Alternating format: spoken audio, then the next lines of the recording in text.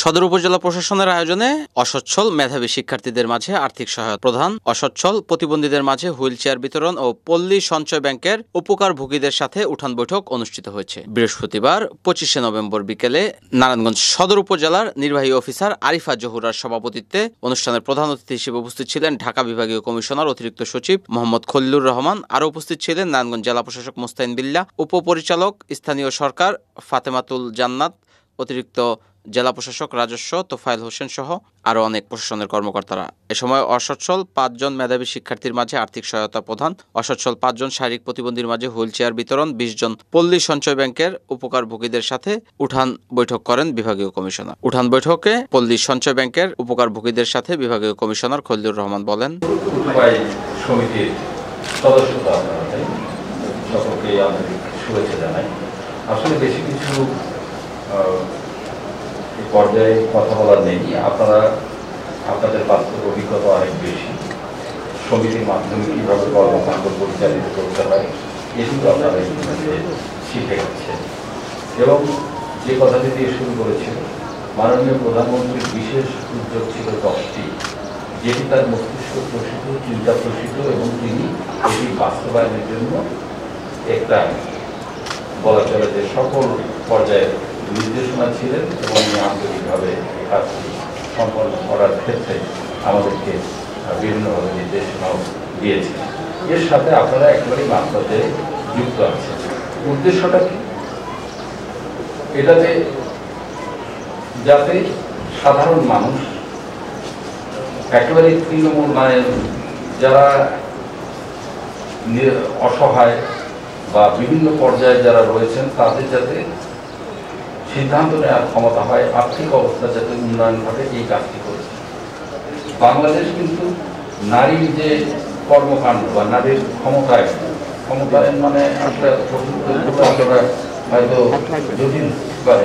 সোজা বিষয় হচ্ছে যে আপনার যখন আর্থিক সম্পত্তি বেড়ে যাবে, তখন আপনি একটা কাজ করার সিদ্ধান্ত নিতে পারবেন।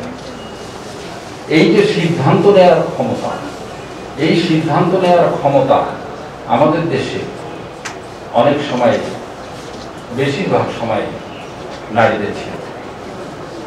অনেক ক্ষেত্রে থাকে সেক্ষেত্রে কিন্তু উনি নারীর ক্ষমতায়নের জন্য পুরুষের পাশাপাশি যেহেতু অর্ধেক নারী, তাদের কিন্তু চিন্তা করে বিভিন্ন কার্যক্রম গ্রহণ করেছেন। তার একটি মনে করেন যে, এই যে পল্লী সঞ্চয় ব্যাংকের মাধ্যমে যে ঋণ বিতরণ সেটি একটি কর্মকাণ্ড। এরকম অনেকগুলো কর্মকাণ্ড আছে। এবং বাংলাদেশ কিন্তু গোটা বিশ্বে, মনে করেন দুইশো কাছাকাছি যদি দেশ বা তার উপরে থাকে দুশো কাছাকাছি, তার মধ্যে কিন্তু অবস্থানটা প্রায় এই যে নারীদের যে এম্পাওয়ারমেন্ট নারীদের যে ক্ষমতায়ন, এক্ষেত্রে কিন্তু প্রায় সাতের মতো অবস্থান। মানে একদম প্রথম সারি অনেক উন্নত দেশেও এই স্টেপগুলো কিন্তু নিতে পারেনি, যেটা আমাদের এই ক্ষেত্রে আমরা নিয়েছি। এবং সেটা মাননীয় প্রধানমন্ত্রী নিয়েছে এবং সেগুলো বাস্তবায়ন করতেছে আপনাদের মাধ্যমে। যে আমি খুব আপনাদের প্রত্যেককে শুনতে পাইলে হয়তো ভালো লাগতো। আপনাদের প্রত্যেকেরই সাফল্যের গল্প আছে। আপনাদের প্রত্যেকেরই কি বলব, যে কষ্টসাধ্য বেশ কিছু পর্যায়ে অতিক্রম করে আপনারা এই পর্যায়ে এসেছেন। আমি আশা করি যে আমাদের যে অর্থ আপনারা পাচ্ছেন, সেটি ছোট থেকে আরও বৃহৎ আকারে যাবে। শুধু আপনি নিজে স্বাবলম্বী হবেন না। আমার বিশ্বাস, আপনার সঙ্গে আরও দু চারজনকে এর সঙ্গে যুক্ত করে তাদেরকে আপনাদের কর্মসংস্থানের ব্যবস্থা করতে পারবেন এটি হবে হচ্ছে সবচেয়ে বড়। আমি আর কথা বাড়াই না।